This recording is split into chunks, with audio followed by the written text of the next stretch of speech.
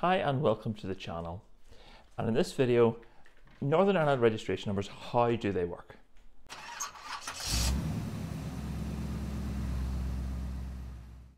So in this video, I want to answer a question which I've been asked by one of my subscribers, and that's to explain how the Northern Ireland registration numbering system works.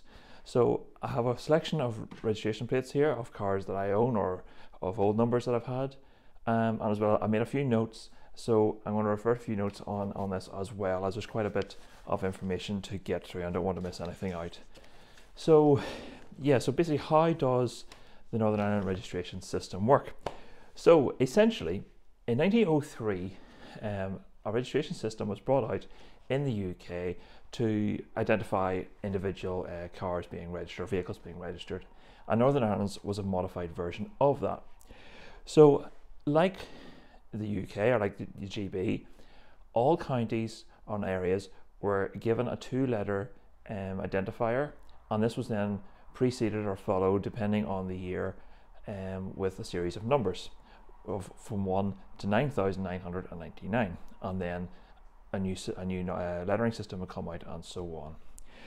So, at the time, all of Ireland was part of the UK, um, so there were two letters were set aside specifically for Ireland. So that was the I and Z. So these, these letters were not used in the rest of the UK as identifiers for their area. These were specific to Ireland. So first of all, the I system would be used, and then this was followed then by a Z system, Z series. So um, by the time that the, the Z series came into, into effect, the Free Irish Free State had been formed. That was in 1921. So it was then decided that AZ to YZ would be used in Northern Ireland, with ZA to ZZ being reserved for the Irish Free State. So that system continued in the Irish Free State until the formation of the Republic of Ireland when they went, went their own way with their own identifying system. So for, for this video, I'll look specifically for the Northern Ireland uh, system.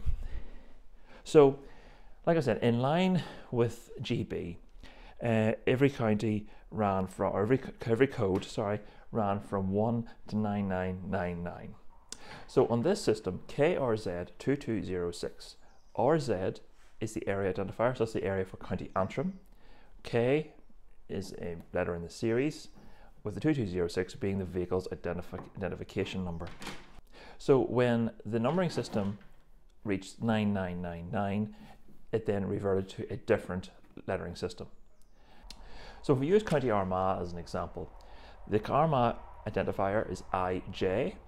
So by the it reached IJ9999, it then reverted back to, zero, to number 1 and was LZ1 and then up to 9999 which by the time we reached that, it then became XZ and the system worked again.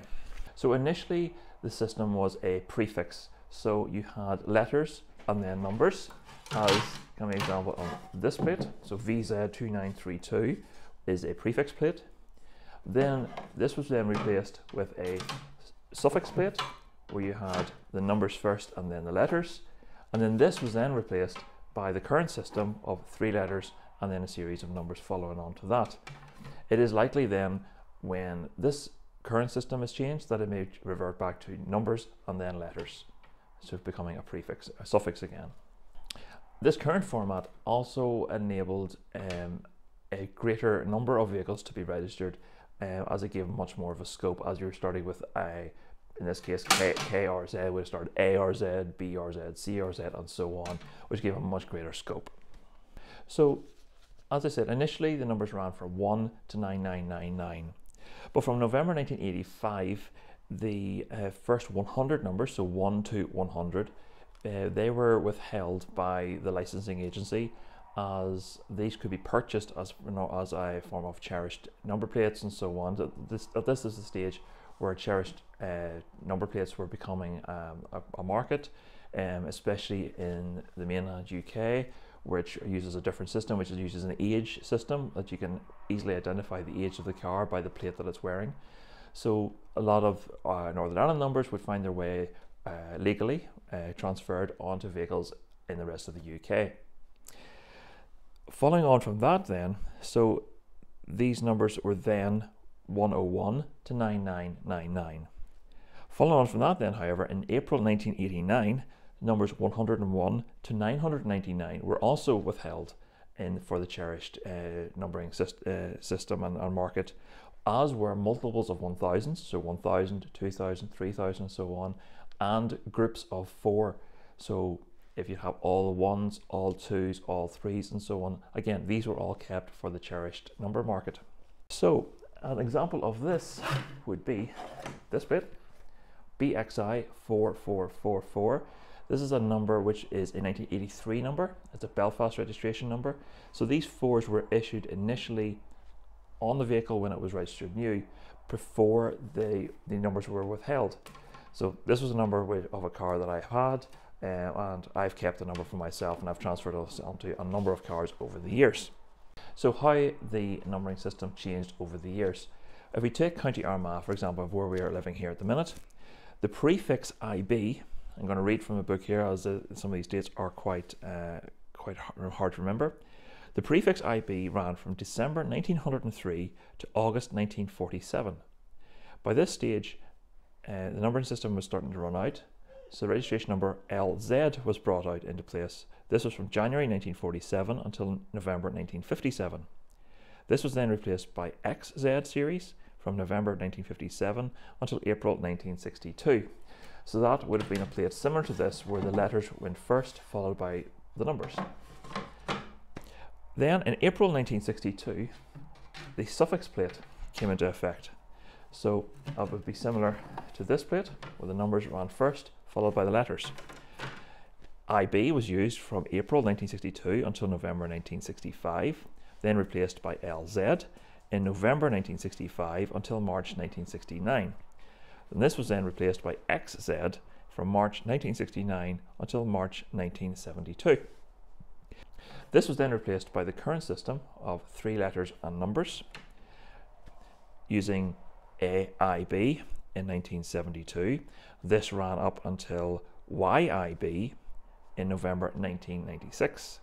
This was then replaced by ALZ in November 1996, and this ran on until YLZ in May 2010, which was then replaced by AXZ in May 2010, and this has been continuing through B, C, D, XZ, and so on until to as it is at the minute.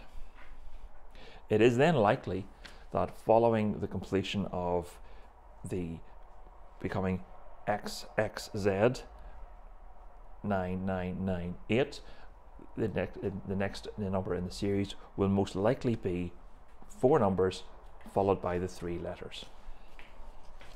Similarly to Great Britain, Northern Ireland runs a Q plate for vehicles of an ind- on on undetermined age or a vehicle where you can't pinpoint an age of, and also for kit cars and very heavily modified cars.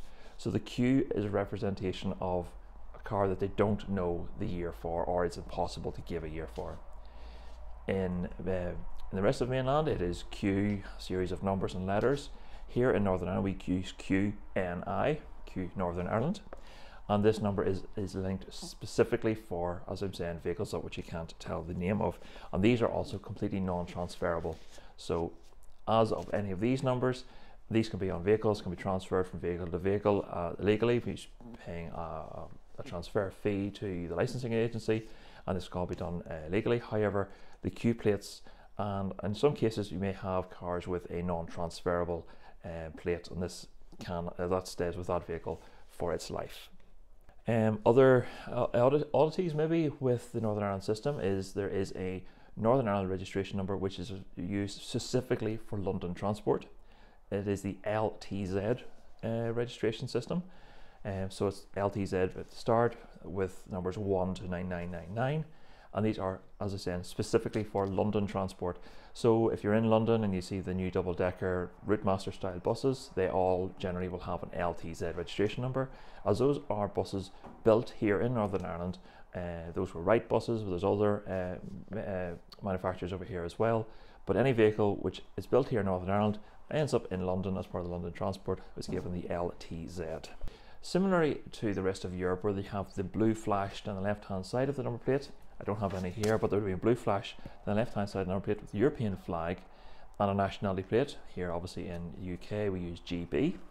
Um, these were permitted uh, for use while Britain was in the uh, European Union. Now, since Brexit, these have now been uh, these are no longer available to purchase, um, and I'm not sure if they're going to be made illegal or not, but to use on your vehicle, but they are no longer available for purchase. Um, so the European flag has now been um, done away with. So if anybody in Northern Ireland or elsewhere in the UK are driving on the continent or, or overseas, then uh, a standardized nationality plate needs to be needs to be fitted to the car. In addition, uh, it's a new plate which has now uh, being put into place is known as the green plate. So for all vehicles of zero emission, uh, so electric cars, um, they must have a green flash. Similarly to the European uh, ones, they have a green flash down the left hand side of the plate. And that signifies that vehicle is a zero emission car. As you've noticed here, we have a collection of colours of plates, white and, and, uh, and yellow. For those who are, aren't in the UK, uh, vehicles after um, a certain year must have white plates to the front, yellow plates to the rear. So any vehicle older than 40 years old is permitted to have a black plate. So similar to this, where they can have a black background with either silver or white lettering. So this is permitted on any vehicle over 40 years old, which has been registered registered as a historic vehicle taxation uh, code. So, like so, my Cooper S Traveller is 1964. It's older than 40 years old. It is permitted to have black registration number plates. Um, the other cars in the fleet are all far too young. They're only uh, five, six years old they must have a white plate to the front and a yellow plate to the rear.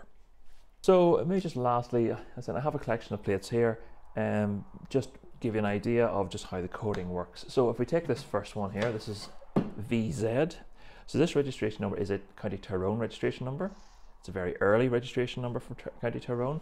Um, as, as I mentioned earlier, it is a prefix plate. Then we go on to JI.